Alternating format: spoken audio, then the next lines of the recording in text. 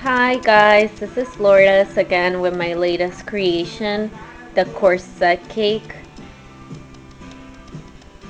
Everything is made of fondant, as you can see in the details. I also put rose petals around it, and there's also that rose, I made it myself too.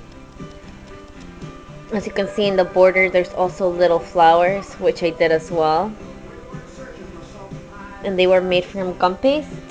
Yes everything was made with gum paste.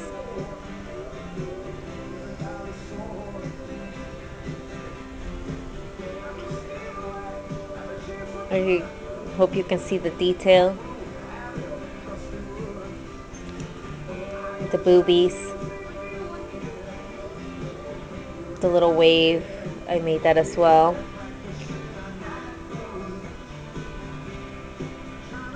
And you can see the rose I'll get closer to it which I did myself from gum paste.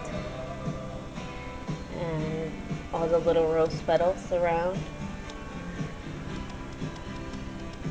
Okay well I hope you guys enjoyed my latest creation you can find me on Facebook simply sweet S I M P L Y Y sweet Okay, and I hope you guys have a good day. Thank you. Enjoy.